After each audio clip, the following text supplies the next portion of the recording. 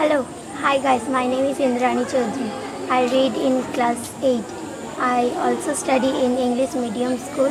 My best friend is Breswati Mandal and my favorite subject is science and I want to go around with science in my future. I want to be a mm, doctor as well as I want to help poor people from every village country and all over the country as well as Want to be a dancer. I was 2 years old when I came in Sabera but it was 2000.